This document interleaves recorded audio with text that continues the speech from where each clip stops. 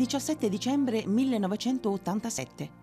Muore Marguerite Yourcenar, al secolo Clean Work de Crayencourt. Scopre giovanissima la passione per la letteratura e la scrittura. A soli 17 anni pubblica la sua prima raccolta di versi, Le Jardin des Chimères. Allo scoppio della Seconda Guerra Mondiale, la Yourcenar si trasferisce negli Stati Uniti, di cui diventa cittadina nel 1947, pur continuando a scrivere sempre in francese. Nel 1980 è la prima donna ad entrare a far parte dell'Académie Française.